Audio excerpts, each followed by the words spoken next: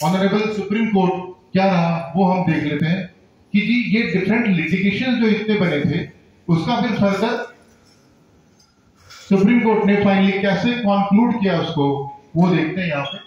The respective impugn section 148 notices issued to the respective SSCs shall be deemed to have been issued, ये बहुत important point है। कि shall be deemed to have been issued under section 148 of the act as substituted by the Finance Act 2021 and created to be so called notices in terms of section 148AB.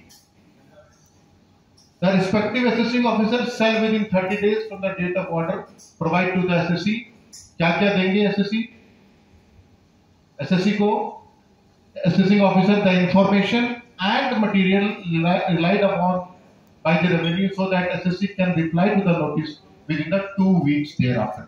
ये